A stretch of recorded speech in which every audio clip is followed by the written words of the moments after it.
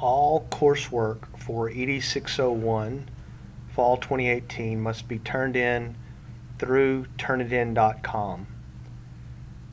Go to turnitin.com and enroll in the course using the following information. Here's the class ID number and here is the enrollment key.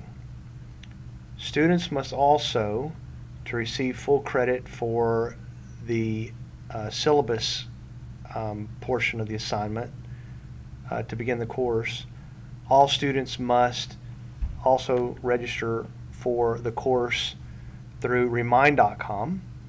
So in order to receive text there, the students should go to remind.com and text the message at ED601FA18 to the number 81010.